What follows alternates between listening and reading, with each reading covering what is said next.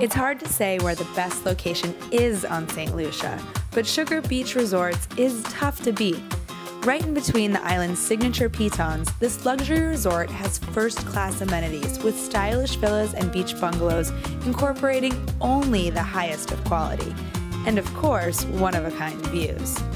While it is very tropical, the resort is a little bit rock star with a focus on art and design. However, this UNESCO World Heritage Site is built for relaxation and the ultimate enjoyment. The resort is integrated into its surroundings, from hilltop to beachside, and you will find a variety of unique spaces, which I couldn't stop taking pictures of.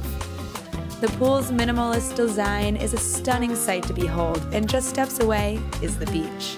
A serene bay in between the emerald pitons, the Bayside Outdoor Restaurant and Beach Bar ensures that you never ever have to move, though there are plenty of tempting water sports. And as the sun sets on the water, the resort only gets more beautiful.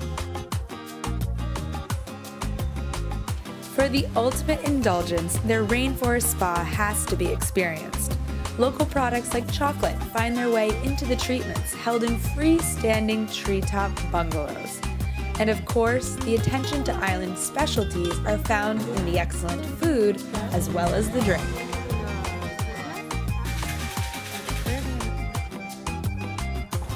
St. Lucia is known for its rum, and some of their most popular rum cocktails are the St. Lucian Rum Punch, the Tea Punch, and rum with fresh coconut water. But here at the Cane Bar at Sugar Beach, they specialize in rum, and the drink that you have to order is the Old Havana.